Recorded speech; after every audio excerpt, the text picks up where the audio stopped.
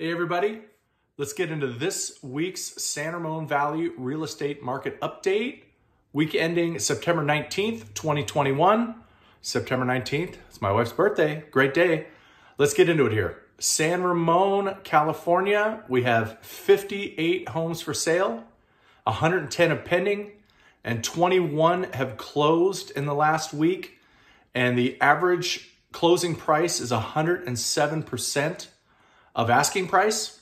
So the market is still hot. Inventory is still low in San Ramon. Danville, California, we currently have 41 homes for sale, 84 that are sale pending, and 13 that have closed in the last seven days on an average of 105% above asking price. So Danville inventory is very low. We got double the amount of homes pending as we do homes for sale. Um, we'll move on to the next. In Blackhawk, we've got 13 homes for sale, 11 that are sale pending, and two homes that have closed escrow in the past week. And they are averaging 102% of asking price.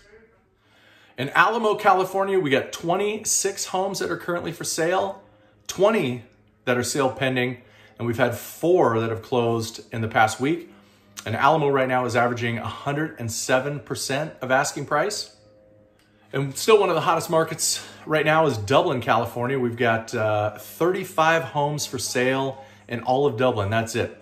106 sale pending, and we've had uh, 23 that have closed in the last week, and they have averaged 109% of asking price. So the market is still hot. I hope you guys find this information useful.